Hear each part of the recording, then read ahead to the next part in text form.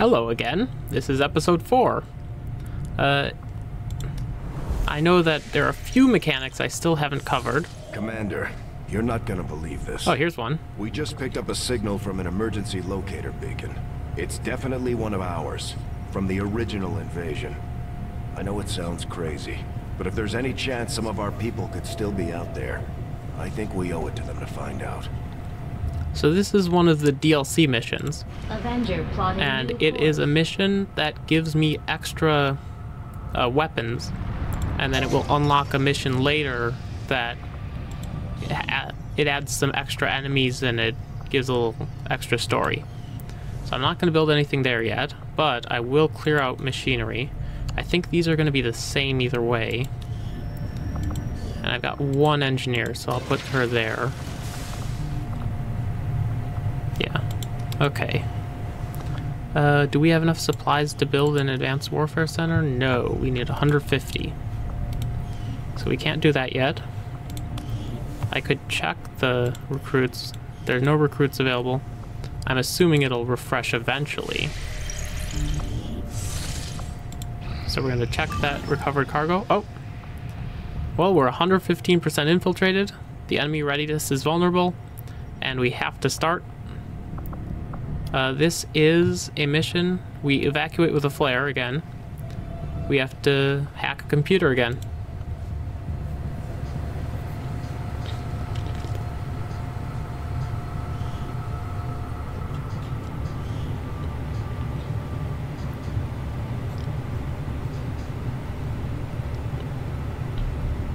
So this is pretty much the same mission as before, just in a different place.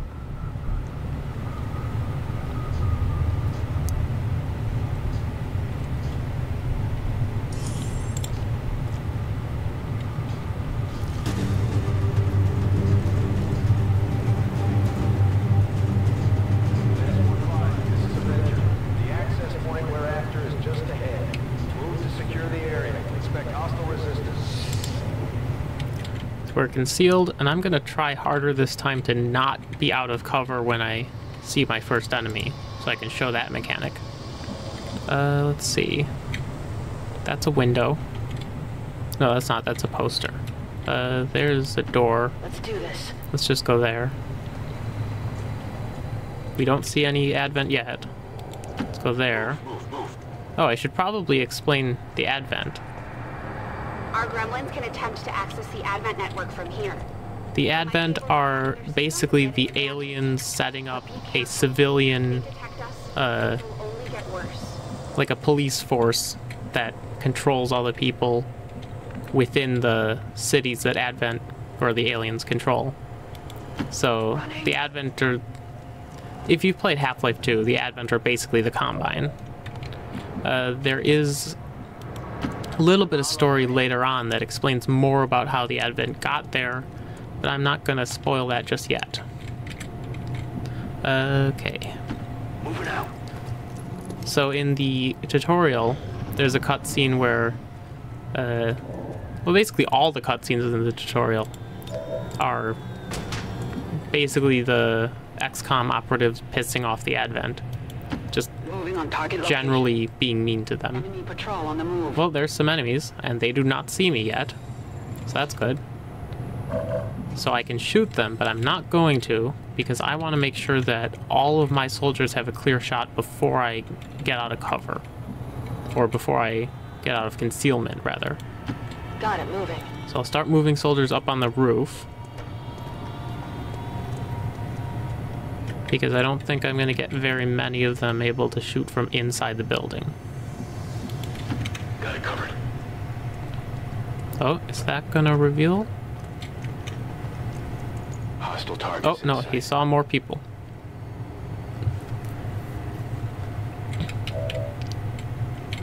Okay. Where can I go? Can we shoot from there? No, probably not. That's even too far away. That can see them. Okay. I could try going there. I'm all over it. Okay. I don't really want to start on this turn. because I've already moved several people and they can't attack right now. Uh, oh, we can hit them from there. So let's go to that corner. And then we'll overwatch, which because we're concealed will only trigger if the enemy moves while we're revealed. Okay, they're moving. I think we'll still be able to shoot at them. They're opening the door. Okay. Well, that one's definitely going to get shot inside. Uh, okay. So let's keep moving people closer to a place where we can attack enemies. All of these cover spots are revealed, and I can't move this character right now. So I'm going to have to break concealment on this turn, or they will break it for me. Okay. I could go there. I don't know if that's revealing me. Nope, it did not. But also, I don't have any ability to attack from there. I'm just going to put as many people as I can on Overwatch and then start the combat. Roger. I've got my eyes on. Oh, I've actually got one more person I can move. Okay. Let's go there. Okay, On Overwatch. so that's everybody. Now I can either shoot, which has 91%, or I could throw a flashbang or a grenade. I'm gonna shoot, because 91% is pretty good. There we go. So now we're revealed. Or in a few seconds. There we go. Now we're revealed. And because of that, all of the enemies are going to move. And moving triggers Overwatch. So that sectoid is dead. And the Advent Trooper is dead. But they still have the engineer and all those soldiers that were way over there. So the engineer is moving. The engineer can attack me because he was revealed on, or he was already revealed. Uh, can I shoot from there? Yes, but that is too far. I could go there, but I don't know if there are any enemies over here. So I'm gonna try down here. On the move. That should be, well, it's a shot. It's not a very good shot. Uh, this character can run over there. And I could actually stop there. So I'm going to try run and gun. Up, knock him down. So first thing I'm going to do is run to the edge of the blue area here. Because that means I can grab the loot. And now that I've run to the edge of the blue area, I'm going to run over here. Now that does put me in a flanked position, but more importantly, it puts the enemy in a flanked position. Confirmation of the exposed access point. Now that I'm close to the laptop that I'm going to hack, I do have to be careful not to damage the laptop, because if I destroy the laptop, then the whole mission's failed. And even if I get all my troops out, I still fail the mission. So I'm going to shoot the engineer. I am this close, so I have basically it is guaranteed to hit. Okay, and it was also critical. And I believe that was the sound effect for loot dropping. Yep. And he's already in the area, so he gets the loot. We got a data pad, which we can investigate for uh, some intel, which is one of the currencies. Intel and supplies are the two currencies.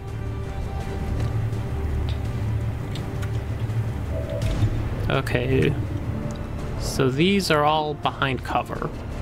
They've all got pretty good cover as well. So I'm gonna try throwing a frag grenade at this one.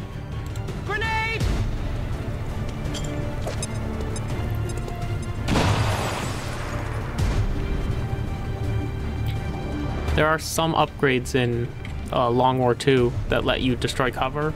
In XCOM 2 without Long War 2, you can usually destroy cover with any grenade. Well, any damaging grenade, that is.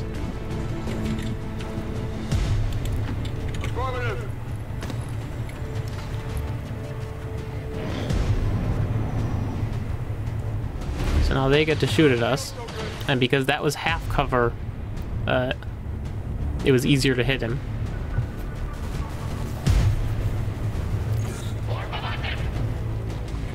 Advent officers have an ability called Mark, which means that they will try to shoot at the mark target and they will have like an aim bonus against them. But being behind full cover is probably going to protect enough. That was an Overwatch, so if anybody moves within that character's line of sight, they will get attack, not necessarily hit. Evac! We need That was a panic. No! In Long War 2, panic always means that they will hide. It doesn't mean that they will go try to shoot someone at a bad angle or something, like it does in normal XCOM. Uh, I'm gonna keep moving ahead. So that's 23%. That's not good. I could throw a frag grenade, but it won't reach. Flamethrower also would not reach. I could move up. That's probably my best bet right now. Or I could shoot a rocket. I don't think it's going to be a good idea though, because that is very inaccurate at that range. So I'm going to keep moving forward. And that does trigger the Overwatch, and that took one of the two shield points away. Okay. But that does mean that this character can now move more safely because the Overwatch is already used up. Uh, I could do that. That's probably a bad idea. Okay. I could go here. That is half cover still, but it is closer to the enemies. That's 40%. Yeah. Okay. Let's see. I could throw a flashbang in there. I'm going to hit two people if I go there. I don't think I can hit multiple people with that one. So I'm going to throw a flashbang. That disorients them, which means they can't move as far and they also can't use as many of their abilities. And they have, like, a lot reduced aim. So I could pick up the sectoid, but I'm not going to because I don't need that right now. And it would mean that my soldier can't do anything while they're holding the sectoid. Okay, so that's 0% to hit with shot, sawed-off shotgun. I could try to shoot him. Uh, I'm gonna flashbang them. This one's gonna be bright!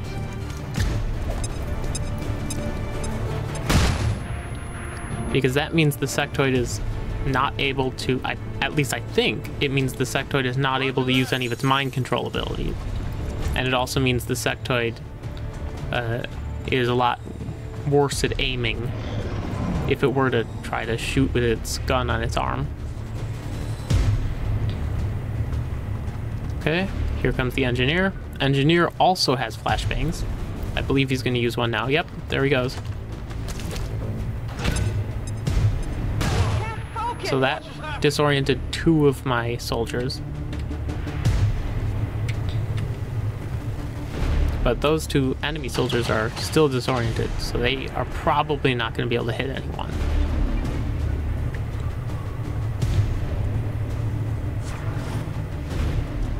That sectoid is also disoriented. So these two soldiers I can't attack with. The panic did end, but that that enemy is uh, overwatching, which means that he will attack us. However, as long as I'm careful about this, I think I can throw a grenade and hit multiple of the enemies. No, I can't. I could throw it there, or I could throw it there, but I couldn't hit this guy. So let's see. Oh, well, that was a mistake. Yep, didn't mean to do that. Okay, whatever. Uh, let's shoot with this guy. Can he hit the... Yes, he... Well, he hopefully can. Let's see if he can hit... Yeah, he can hit with the stun better. So, the stun is probably going to be my best bet. Although... Shotguns are pretty good at close range. Let's see, actually.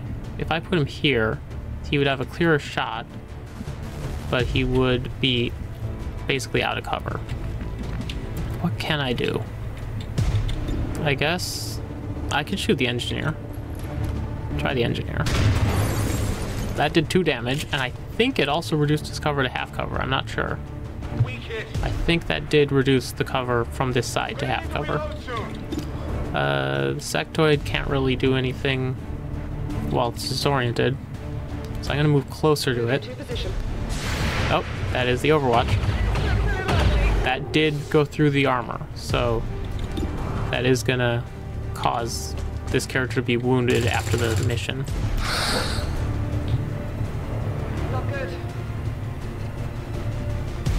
Okay.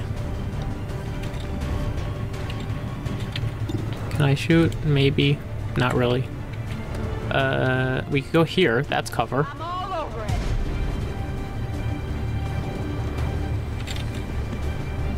And we could bring this character up. Hopefully they will be able to become normal. Okay. The sectoid has disorientation removed. I think both of the soldiers did too. So now we're in danger. They can actually hit us now. And they're going to use another flashbang. I think that only hit one of my characters though.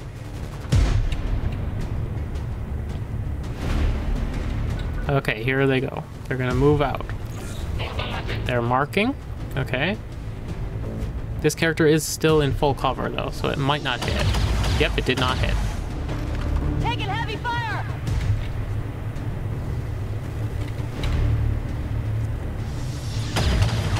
That also missed.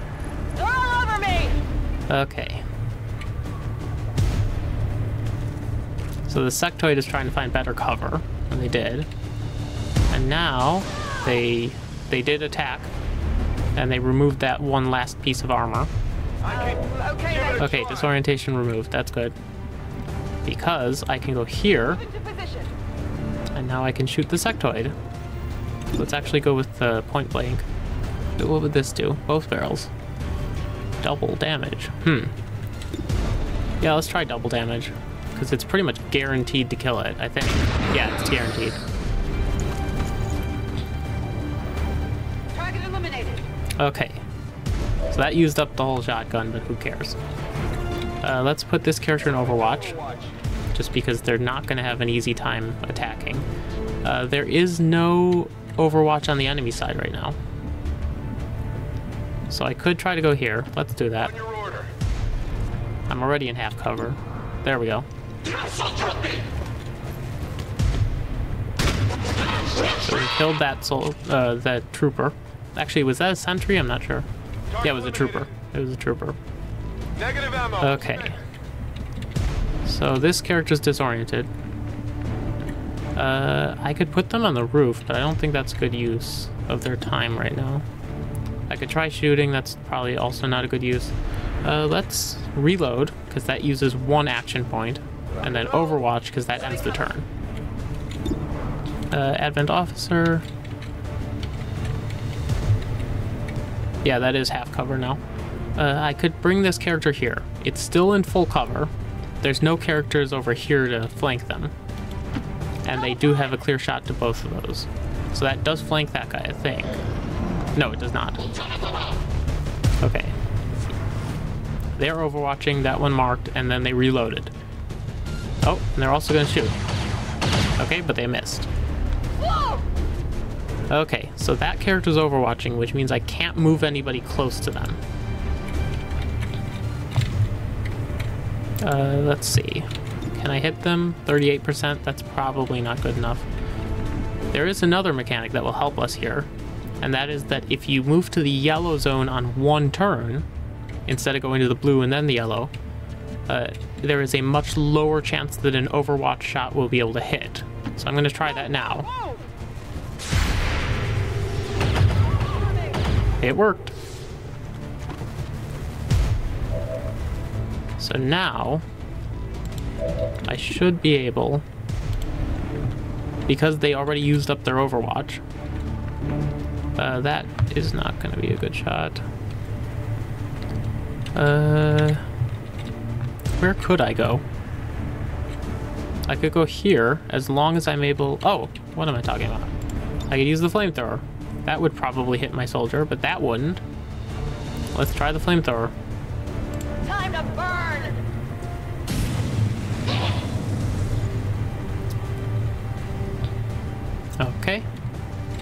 I need to reload on this turn because I don't have any ammo in the gun. I'm ready. And I could try shooting, but I'm not going to. Instead, I'm going to probably move back to my old cover. Moving to position. Okay. So now that that enemy's on fire, uh, let's move over here. Because then we might be able to flank on the next turn. I think that is a flank, actually. And we'll keep moving in. I'm on it. I think this might be a good time to overwatch on this character. Yeah, because we're we're probably gonna end up with that character, that uh, officer dying of burning anyway.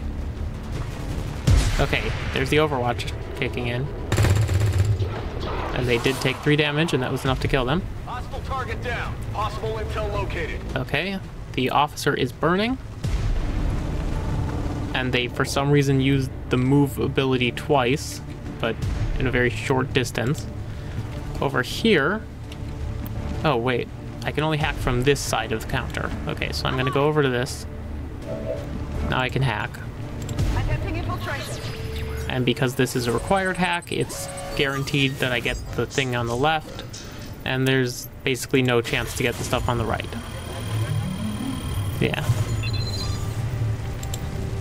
So, that's the objective completed. And now, I'm going to evacuate. So, I will push the Call Skyranger button. I need an evac. We'll call for evacuation. That'll come on the next turn. I think. Evac request confirmed. Hold Uh, we can bring that officer back with us, but we could also shoot that officer. So I'm gonna wait until I see if I get the officer killed. That might work. I don't think it's worth trying. Uh, let's move here, on your order. because then we can get the loot. We got a hair trigger, I have the asset. And we can shoot the officer. Hmm. I'm actually going to use the medkit. Actually, no. I will Overwatch. Because the officer's probably going to try to move. And I'll Overwatch here too. And I'll Overwatch here. Overwatching all around. Oh, he just died. He burned to death. That's fine. I'm not going to be able to grab that corpse because it's in a big fire. But the evacuation zone is here. So, let's see if I can grab any enemy soldiers on the same turn. That'll work.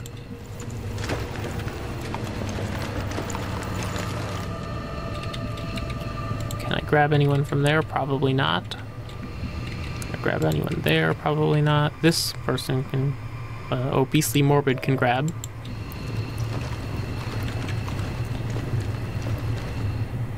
Okay. Don't know if that's actually close enough. But there aren't any enemies, so I might as well try. Okay, I've got the package. so let's start moving people out. Affirmative. So that's one person took one damage, I believe, on this mission. Because damage to the armor does not count as wounding. On your order.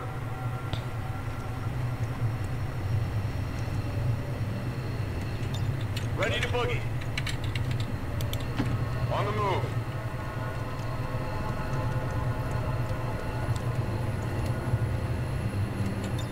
Just in time.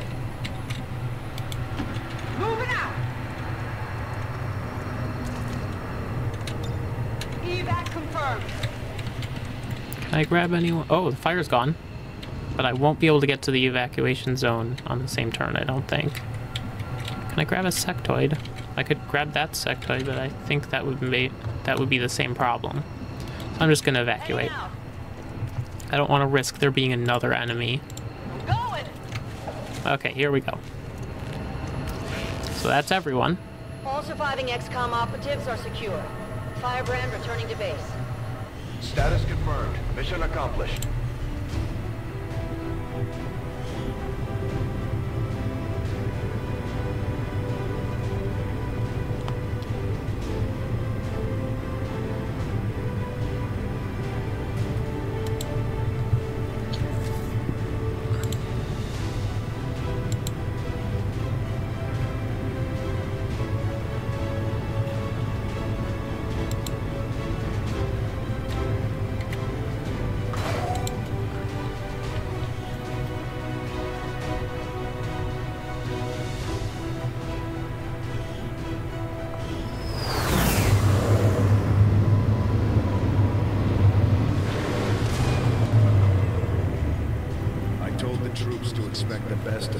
You've shown, Commander.